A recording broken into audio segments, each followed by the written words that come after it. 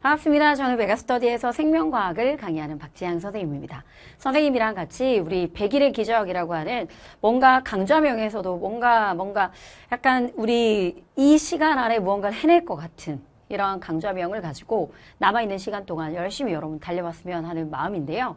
자, 선생님의 100일의 기적 강좌 안에서는 그러니까 선생님이 기본적으로 수능을 준비함에 있어서 어떤 부분이 가장 근본이고 기본이고 우리가 무엇을 체크해야 되느냐 라고 하는 걸 천천히 가만히 앉아서 골똘히 고민해 봤을 때 적어도 이것부터 시작하고 이것들은 마무리해야 되지 않는가라고 하는 것들의 총집합이라고 생각하시면 돼요.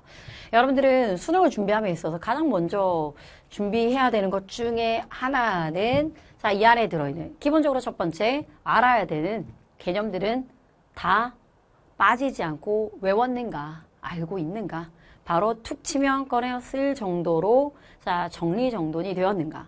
어, 선생님이 옛날에 이런 공부를 좀 시켰었거든요. 어떤 애들한테 수능 직전에 자 이제 수능 날, 수능 전날 또는 수능 날 뭐, 뭐 보면서 마무리할 거야 그랬더니 어떤 애가 선생님이랑 같이 공부했던 개념책도 펼치고 기출문제 중에 중요했던 거 오답했던 거, 그 다음에 또 연계교재 봐야 되는 거, 그러니까 생명과학만 생각하더라도 몇 권을 챙겨가야 되더라고요.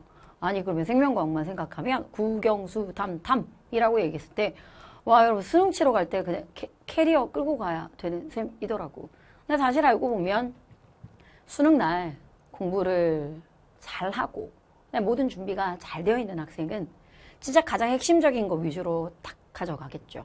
근데 그럴 만한 무언가를 만들어내야 되는 시점이 필요한데 여러분들은 물론 스스로 하면 좋지만 뭐 탐구, 생명과학만 공부하는 건 아니잖아요. 그러다 보니까 이 과목 말고도 다른 모든 과목을 공부해야 되는데 아 이걸 여러분들에게 같이 함께 할 수 있는 강좌이자 자 시간을 마련해 줘야 되겠다라는 생각에 선생님이 지금 이 100일의 기적이라고 얘기하는 강좌는 어찌 보면 수능장에 들고 갈 수 있는 가장 핵심적인 것들 또는 그 전날 또는 수능치기 일주일 전날 내가 공부해야 되는 또는 마무리해야 되는 것 또는 여러분들 파이널 모의고사 시험 치기 직전에 아, 파이널 모의고사라고 얘기한다면 준비가 다 되어 있는 상태 안에서 자신의 실력을 시간 안에 풀어낼 수 있는지를 발휘해 보는 거잖아요. 모의고사라고 하는 건.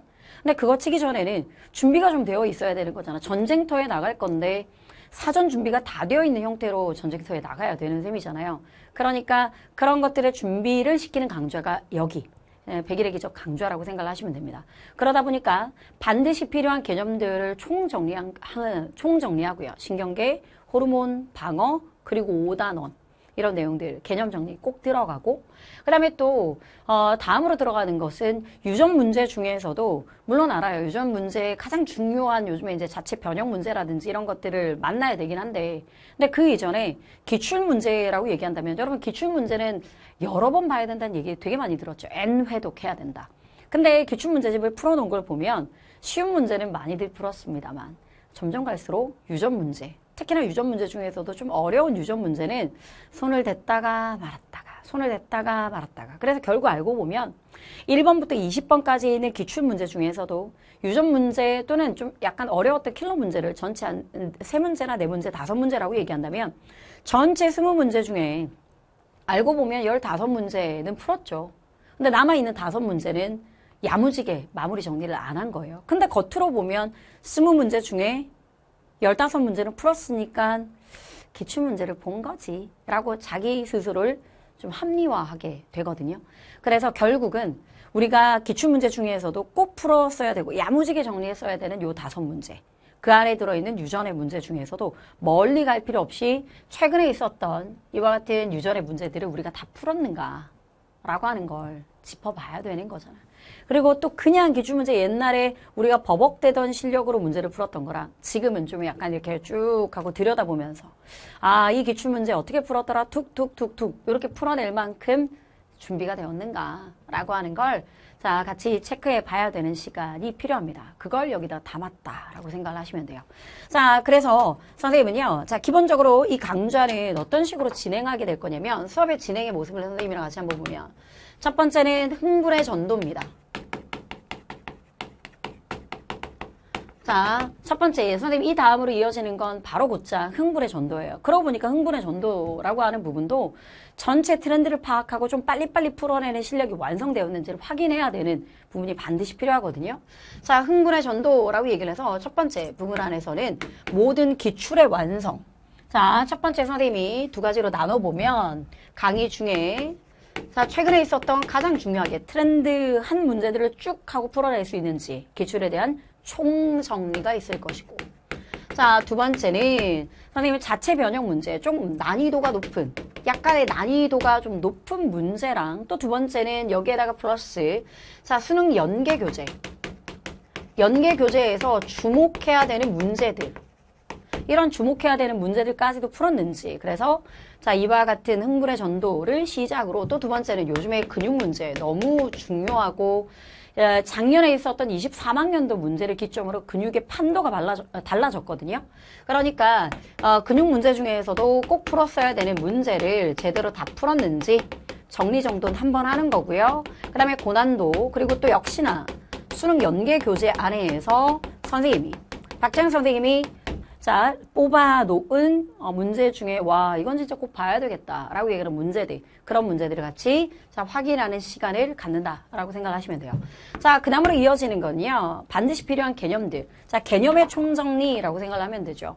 개념이 곧 자, 문제풀이의 실력으로 작용하는 단원들이 있습니다. 바로 툭 치면 툭 하고 나올 만큼 어, 문제를 빠르게 풀어낼 수 있으려면 신경계, 그 다음에 호르몬, 방어, 그리고 요즘에 5단원도 끝까지 꼼꼼하게 자리 잡아야 되는데 이렇게까지 개념에 해당되는 시간이 쪼로록 하고 이어지기 마련이고 그 다음에 마지막으로는 네 번째, 아, 네 번째에 해당되는 것은 바로 유전입니다.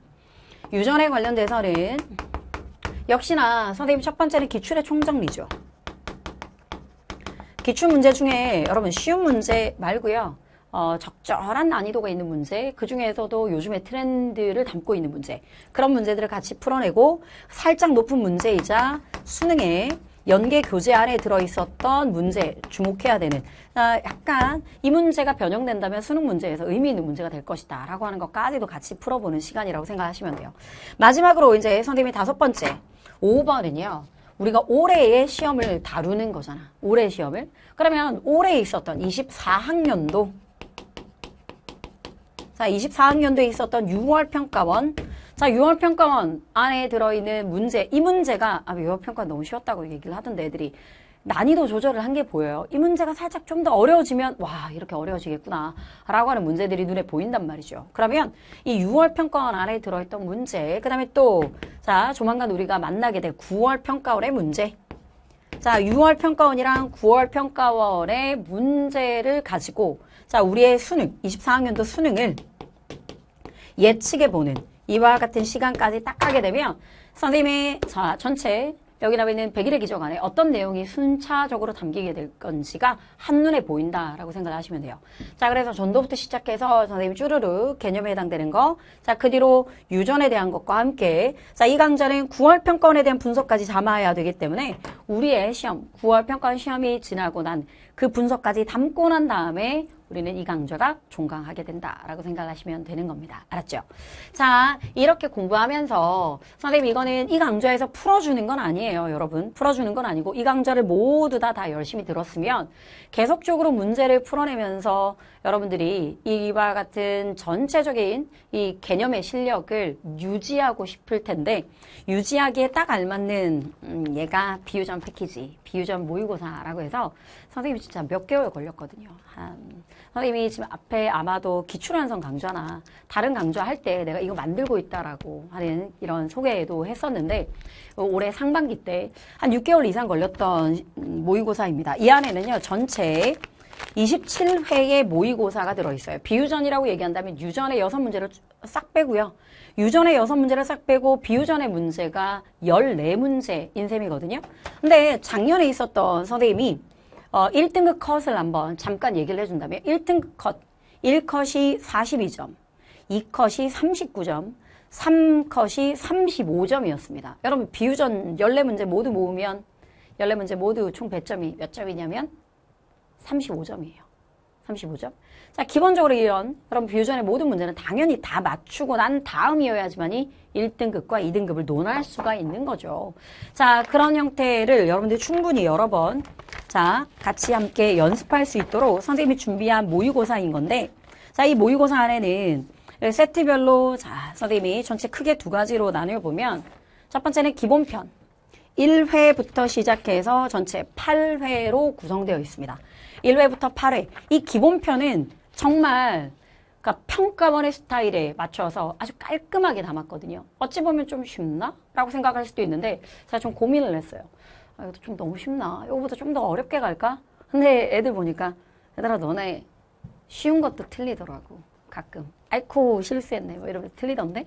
그래서 아, 여러분들 중에서 혹시라도 너네 수능 끝나고 난 다음에 말도 안 되게 쉬운 걸 틀렸을 때 진짜 자다가 막 일어나거든요. 이불킥 하거든요. 그런 일은 자, 일어나면 안 되는 거니까 기본편. 자, 8회.